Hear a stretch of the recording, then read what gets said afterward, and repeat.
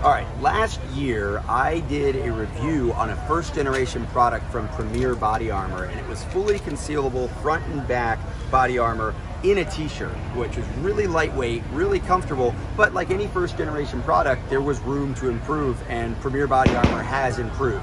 It's a better shirt, it's a bigger panel, and it's still coming in at 249, and uh, it's pretty impressive. It's a 3A panel, front and back.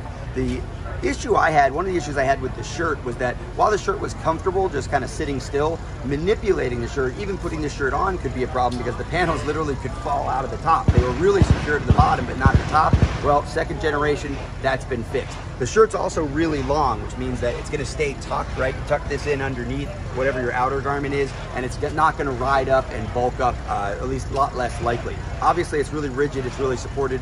Premier Body Armor, they do amazing things. Um, they got some new really cool separate tile, ceramic, level four, level three stuff. I'm gonna talk more about that through Personal Defense Network, but it's always great to see when, when a company takes not just my feedback, but feedback from a lot of different customers, I'm sure, and says, we can do this better, and then they commit to doing it better, and Premier Body Armor is one of those companies. Um, one of the cool things here at uh, Primary Arms Range Day.